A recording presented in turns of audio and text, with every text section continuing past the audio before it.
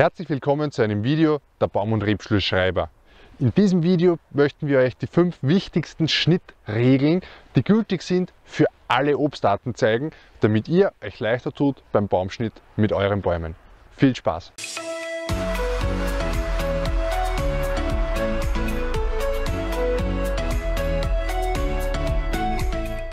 Es gibt einige Regeln, die gültig sind beim Schnitt von allen Obstarten. Ganz egal ob Apfel, Zwetschge, Birne, Pfirsich, Marille. Und die wichtigste Regel beim Obstbaumschnitt, das ist sicher das Gesetz der Schnittwirkung. Was ist damit gemeint? Je stärker man einen Baum schneidet, desto stärker wächst er. Man sieht so häufig die Fehler, dass Leute Bäume kräftig zurückschneiden mit dem Ziel, sie dadurch klein zu halten. Aber das funktioniert nicht. Je stärker man Bäume zurückschneidet, desto mehr Wachstum regt man in weiterer Folge an. Wenn man Bäume klein halten möchte, dann ist es wichtig, regelmäßig und moderat mit Gefühl zu schneiden und nicht kräftig radikal zu agieren. Ein regelmäßiger und reicher Fruchtbehang, das ist die beste Wuchsbremse. Je stärker man einen Baum schneidet, desto stärker wächst er in weiterer Folge und je mehr Wachstum der Baum hat, desto weniger fruchtbar ist er, desto weniger Blütenknospen setzt er an. Wenn man auch einen Baum nur einmal deutlich zu kräftig schneidet, kann das Folgen für mehrere Jahre haben. Denn wenn man Bäume kräftig zurückschneidet, viel oberirdisches Triebwachstum anregt, viel vegetatives Wachstum anregt, dann hat der Baum auch mehr Wurzelwachstum. Und größere, kräftigere Wurzeln, die sorgen auch dafür, dass der Baum über mehrere Jahre hinweg kräftiger wachsen kann. Die zweite ganz wichtige Regel beim Obstbaumschnitt, die ist es zwischen Anschneiden und Wegschneiden von Trieben zu unterscheiden. Was ist damit gemeint? Ich habe hier gute Beispiele für euch. Hier haben wir eine Schnittfläche vom letzten Jahr. Hier wurde im vergangenen Jahr ein Schnitt gesetzt und damals ein einjähriger Trieb kräftig zurückgeschnitten. Wie hat der Baum reagiert? Er hat gleich 1, 2, 3, 4, 5 neue Triebe gebildet. Und ganz typisch, ganz normal, aufgrund der Spitzenförderung, ist es jetzt, dass die obersten Knospen immer am stärksten austreiben. Also die obersten Knospen unter dem Schnitt machen jetzt die stärksten Triebe im kommenden Jahr. Je weiter dahinter, desto flacher und schwacher werden die Triebe und desto tendenziell fruchtbarer. Hier haben wir auch so ein sehr schönes Exemplar. Hier wurde im vergangenen Jahr kräftig zurückgeschnitten und der Baum hat sofort mit 1, 2, 3, 4 neuen kräftigen Trieben reagiert und auch hier waren wieder die obersten beiden die, die am stärksten und am steilsten ausgetrieben sind. Was ist jetzt hier passiert, wenn die Triebe hier eingekürzt werden? Diese kräftigen Triebe sind weniger fruchtbar als das schwaches, flacheres Holz ist. Und man sieht auch hier, dass am Holz dahinter kaum Blütenknospen, kaum sogenannte Bouquettriebe, wie man sie bei der Kirsche nennt, diese Knospenbündel, angesetzt wurden. Hier ist zwar ein Rückschnitt passiert, der nicht ganz so kräftig war wie hier. Hier haben wir jetzt auch dahinter noch einige Knospen, Bouquettriebe, die im kommenden Jahr jetzt fruchtbar sind.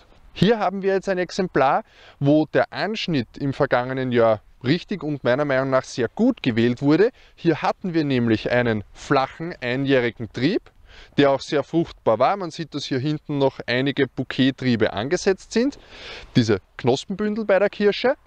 Und dieser wäre, wenn er ungeschnitten belassen worden wäre, vielleicht in ein, zwei Jahren schon verkümmert, einfach abgetragen gewesen und ohne Rückschnitt hätten wir hier kein neues Wachstum bekommen.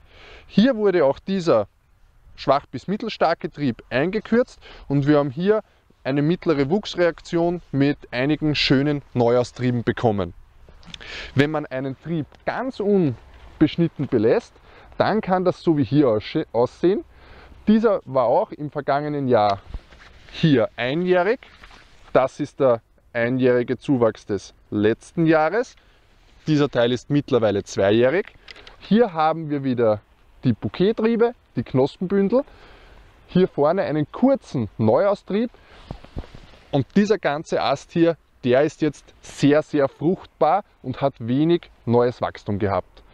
Wenn man also hier im vergangenen Jahr auch angeschnitten hätte, dann hätte er wahrscheinlich, so wie hier reagiert, mit vielen kräftigen Neutrieben. Wenn man also die Fruchtbarkeit von Obstbäumen fördern möchte, dann sollte man diese unbeschnitten lassen oder nur sehr moderat mit viel Gefühl schneiden. Wenn man Wachstum fördern möchte, dann schneidet man vor allem das einjährige Holz zurück und den ganzen Baum kräftiger. Das war jetzt das Anschneiden oder unbeschnitten belassen. Jetzt gibt es aber auch noch das Wegschneiden. Wenn man jetzt zum Beispiel hier Äste ganz herausnehmen möchte, weil sie nicht in den Kronenaufbau passen, weil sie hier im Inneren steil sind und auch hier viele kräftige Triebe haben mit einem Astabgang, der hier nicht gewünscht ist, dann gehören solche Äste komplett entfernt. Wenn man hier jetzt weiter das Ganze klein halten möchte mit Rückschnitt, dann funktioniert das nicht. Solche ganzen Astpartien kann man im Wachstum nur beruhigen, indem man sie komplett herausnimmt.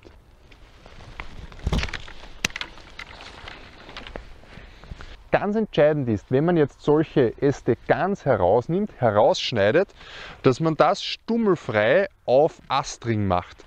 Schlecht wäre es gewesen, ich zeige es jetzt symbolisch hier, wenn man so ein, zwei Zentimeter Stummel belassen hätte.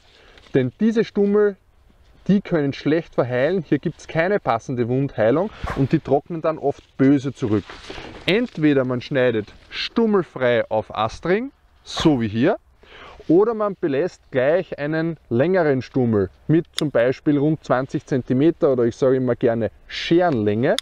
Wenn man so lange Stummel belässt, dann hat man hier an der Basis wieder neue Augen, neue Holzknospen oder Adventivknospen, die austreiben.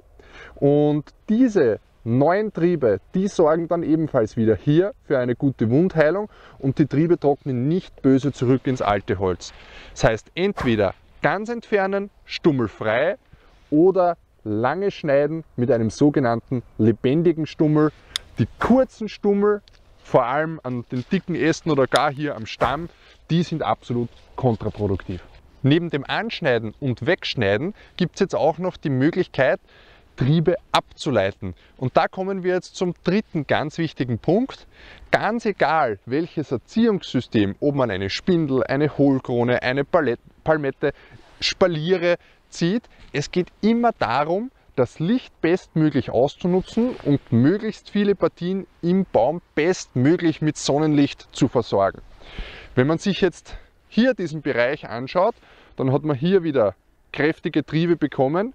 Die wurden hier erneut angeschnitten, weil in dieser Anlage, in dieser Obstanlage maschinell vorgeschnitten wurde. Hier wäre jetzt wieder mit starkem Neuaustrieb zu rechnen. Was würde dann passieren? Dieser Bereich hier würde wenig Sonnenlicht bekommen und hier wäre mit schlechterer Fruchtqualität in weiterer Folge mit Verkahlungen im Baum etc. zu rechnen. Solche Triebe kann man jetzt hier ableiten, die stark wachsenden steilen Triebe herausnehmen, das flachere, nicht ganz so stark wüchsige, fruchtbare Holz, das einfach ungeschnitten drin belassen. Hier haben wir dann schon zwei überhaupt etwas schwächere Triebe, die kann man jetzt auch einfach ungeschnitten drin lassen. Im kommenden Jahr und auch im übernächsten Jahr sich dann über die Kirschen freuen. Oder so wie hier, wenn es hängendes Holz ist. Hängendes Holz wächst immer tendenziell schwächer als steil wachsendes Holz. Dann kann man das sogar noch einmal anschneiden, um hier für die Zukunft weiterhin Wachstum zu erhalten. Abgesehen vom schwächeren Wuchs hat hier dieses hängende Holz auch immer kleinere Früchte und eine nicht ganz so gute Fruchtqualität wie einfach ausgewogen wachsende Triebe zu stark mastiges Wachstum, das hat dann wieder wenig Früchte. Wenn man sich jetzt hier diesen Trieb noch einmal ansieht und ihn mit diesem vergleicht, dann sind sich diese eigentlich sehr ähnlich. Dieser Ast hier, der hat im vorigen Jahr so ausgesehen. Wenn man diesen jetzt ungeschnitten belässt, dann werden wir auch hier im kommenden Jahr viele von diesen Bouquettrieben erhalten, sehr fruchtbaren, einen sehr fruchtbaren Baum wenn man ihn anschneiden würde, dann würde er sehr kräftig wachsen. Als vierten wichtigen Tipp möchte ich euch mitgeben, auf die Schnittführung zu achten, damit die Wunden nach dem Schnitt auch wirklich gut verheilen. Ein bisschen haben wir es ja hier schon angesprochen mit dem Schnitt auf Astring, beziehungsweise dass die kurzen Stummeln viel schädlicher sind, als das lange sogenannte lebendige Stummel sind. Hier bei diesem Schnitt, da habe ich jetzt abgeleitet, hier spricht man nicht von einem Schnitt auf Astring, hier wurde aber auch stummelfrei auf dieses schwache, flachere Holz abgeleitet. Und wenn man sich das hier ansieht, dann ist das ein sehr ähnlicher Winkel, den die Schnittwunde hat, zum Trieb, der hier verbleibt. Wichtig ist jetzt hier nicht zum Beispiel im rechten Winkel zu schneiden, um die Schnittwunde so gering im Durchmesser zu halten wie möglich. Das höre ich nämlich auch immer wieder mal. Denn sonst hätte man hier an dieser Seite einen Stummel. Wenn der Schnitt im gleichen Winkel erfolgt, wie der Winkel ist, den der verbleibende Ast hat, dann gilt das quasi als stummelfrei abgeleitet und diese Wunden verheilen sehr gut. Ein schönes Beispiel haben wir hier. Hier wurde im Vorjahr ein Trieb herausgenommen, im gleichen Winkel wie der verbleibende Ast ist abgeleitet hier sieht man keinen Gummifluss, keine Infektionen. Die Wunde ist gut am Verheilen, wird im nächsten Jahr komplett geschlossen sein. Hier wurde schon ein größerer Ast herausgenommen. Auch hier wurde abgeleitet im selben Winkel wie der verbleibende Ast steht. Und auch hier hat sich hier außen schon Kallus gebildet. Auch diese Wunde wird sich schließen. Genauso haben wir hier ein Beispiel oder auch hier wurde schon vor zwei Jahren ein größerer Ast herausgenommen. Diese Wunde ist mittlerweile fast gänzlich verschlossen und schaut sehr gut aus. Überall hier sieht man keinen Gummifluss, kein Austreten von Harz. Hier gibt es keine Infektionen. 2 cm Stummel, die würden hier böse zurücktrocknen und dadurch könnte man diese ganzen Astpartien hier außen verlieren. Was für eine gute Wundheilung auch immer sehr zuträglich ist, das ist einfach bei trockenem Wetter zu schneiden. Wenn diese Wunden hier passieren, bei feucht, nassem, kühlen Wetter, bei Regenwetter, dann sind das hier perfekte Infektionsbedingungen für Bakterien und viele Pilzkrankheiten, denn die mögen dieses feucht-nasse Wetter und alleine ein Schnitt, bei dem es danach zwei Tage trocken bleibt, kann einen Großteil der Infektionen vorbeugen. Als letzten ganz wichtigen Tipp möchte ich euch mitgeben, unbedingt auf den Knospenbesatz, auf die Fruchtbarkeit eines Baumes zu achten, bevor man sich an den Schnitt macht. Wir haben schon gesagt, starker Schnitt regt starkes Wachstum an. Wachstum und Ertrag stehen immer in Konkurrenz. Bäume, die sehr kräftig wachsen, sind weniger fruchtbar. Das bedeutet, Bäume, die sehr fruchtbar sind und schwach im Wachstum, die darf man auch ruhig etwas kräftiger schneiden als Bäume, die ohnehin kaum Blütenknospen haben. Bei diesen sollte man dann moderat und mit sehr viel Gefühl vorgehen. Was man an diesem Punkt auch immer wieder sieht, ist, dass falsch mit Alternanz umgegangen wird. Alternanz bedeutet das Abwechseln von Trag- und Rastjahren, sprich die Bäume haben einmal sehr viele Früchte und im kommenden Jahr kaum bis gar keinen Ertrag. Dann ist es auch oft so, dass in dem Jahr, in dem sehr viele Früchte vorhanden sind, das Obst dann klein ist, keine so hohe Qualität hat, deutlich besser ausreifen könnte, einfach geschmackvoller, gehaltvoller sein könnte, besser lagerfähig sein könnte. Viele Leute reagieren dann darauf, dass sie sagen, sie schneiden den Baum kräftiger zurück, damit er im nächsten Jahr etwas weniger Früchte hat, aber dafür eine bessere Fruchtqualität. Die Krux an der Sache ist aber die, wenn ein Baum so einen übermäßigen Ertrag hatte, setzt er fürs kommende Jahr sowieso deutlich weniger oder keine Blütenknospen, fast keine Blütenknospen an.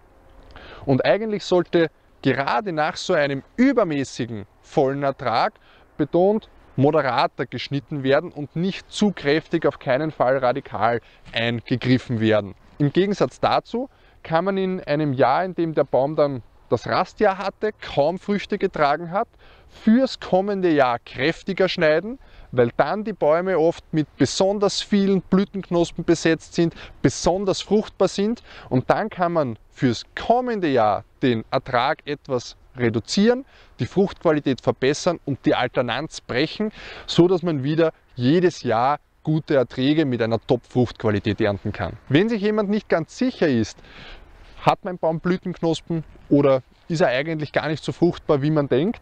Wir haben schon ein Video dazu gedreht, in dem wir euch zeigen, wie man Blütenknospen von Holzknospen unterscheiden kann. Ich verlinke es euch an dieser Stelle in der Infokarte und auch in der Videobeschreibung. Und man kann auch einfach mit dem Schnitt etwas länger zuwarten. Wenn man nicht gleich im Winter schneidet, sondern den Austrieb im Frühjahr und vielleicht den Beginn der Blüte auch abwartet, dann kann jeder erkennen, ob der Baum in diesem Jahr fruchtbar ist oder nicht. Und bis zur Vollblüte kann man schneiden, ohne dass man einen deutlich spürbaren Ertragsverlust hat. Sprich, einfach etwas länger zuwarten, wenn man sich unsicher ist oder unser Video schauen und schon im Winter erkennen, hat man Blütenknospen oder ist der Baum sowieso im kommenden Jahr sehr wüchsig, weil er weniger Ertrag hat.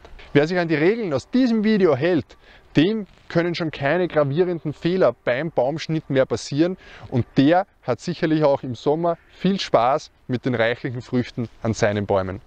In diesem Sinne viel Spaß beim Schneiden, schöne Grüße aus der Wein- und Marienstadt Boisdorf, bis zum nächsten Mal.